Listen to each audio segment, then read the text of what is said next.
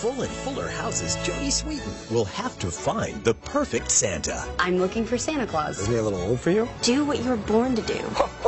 Rock Christmas. Being Santa isn't my thing. Just because you're not going to be Santa doesn't mean you can't enjoy Christmas a little. Come on. Wow. I Kind of forgot how Christmas felt. Maybe you should find out. Finding Santa on Hallmark Channel.